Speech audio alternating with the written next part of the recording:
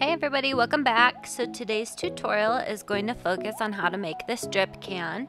The nice thing about this drip can is that it fits the drip can from E squared, from Crimson, and also from the Leopard Buffalo. So if you have any of those three, then this tutorial will work for it.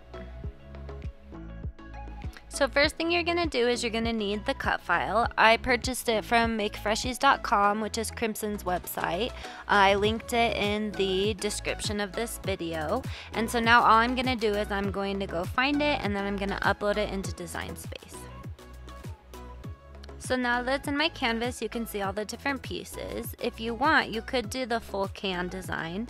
Um, but what I'm going to do is just go delete the extras and I'm just going to stick with the drip and then the bottom piece just because it's quicker as I'm making freshies. But you can use whichever you would like. So on that sidebar, I went ahead and pulled all those pieces up so that that would help ungroup them.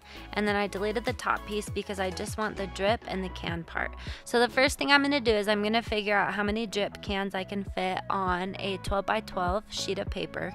Now you'll see later that Cricut Design Space gets mad if you do a full 12 by 12 sheet, but that's where I started is at 12 by 12 and then I just went ahead and smushed them together. It allows 11 and a half inches.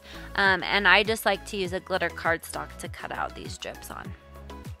And you'll also see that those drips are just labeled as a basic cut because I'm just gonna cut out a piece of paper in that shape.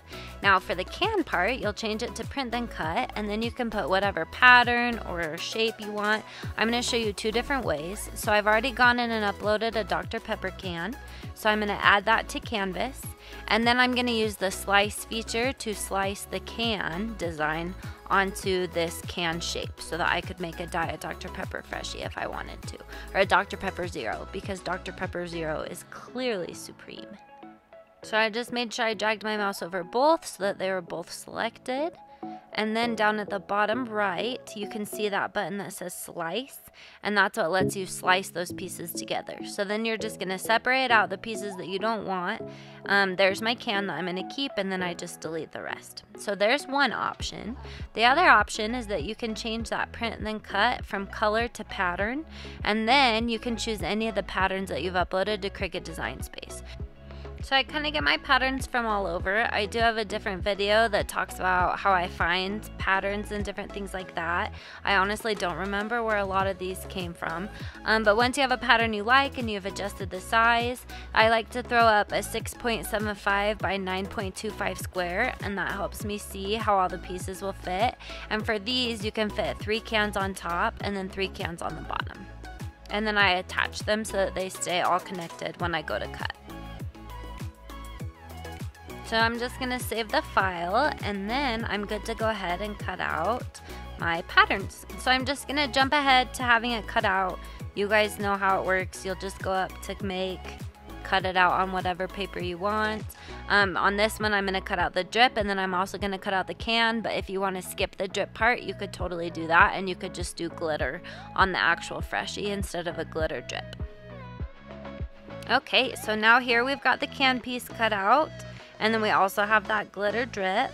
And then I like to add the drip first because that helps keep it in place so you can just kind of push it down in to where you want it to go.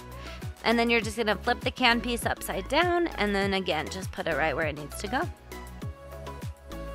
So then once I get it in place, I like to pour a couple beads on top. That just helps prevent that top can piece from shifting and from beads getting up underneath it. And then I like to add glitter to the top. So lately I've been obsessed with Glitzy Glitter. Their stuff is so pretty and you can use SAVE, code SAVE at checkout for 10% off. Then I put in my 22 ammo casings to help hold my holes and then I just pour beads around it and I'm ready to bake. And with these new pans I got, I bake on 315 degrees for 16 minutes and it has really helped my lines be just so much better. They're the Wilton brand pans, so I'll link those in the notes because they are amazing. Now that it's baked, the last thing is to just pull it out. I pull out my handy dandy Sharpie oil-based paint pen. Those are my favorite just because they're so much quicker.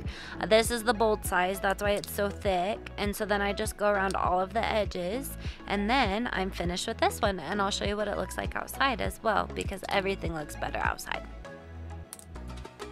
So here it is. Thanks so much for watching. Hopefully you're able to make some of your own. And then I'll also link my Facebook group and I would love for you to come post the things that you make in there.